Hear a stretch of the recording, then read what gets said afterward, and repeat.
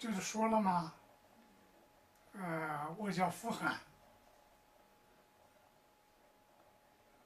出生嘛是一九二六年农历的正月初七，哎，我的家的祖籍是河北省平山县一个农村。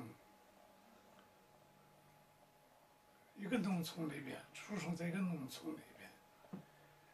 这个地方就是解放战争当中啊，我们中央中共中央所在地。嗯，新中国就是从这个县走出去的。我呢，小时候读私塾，读了几年私塾以后，就。七七事变了，抗日战争开始了，我就十五岁，我就参加革命了。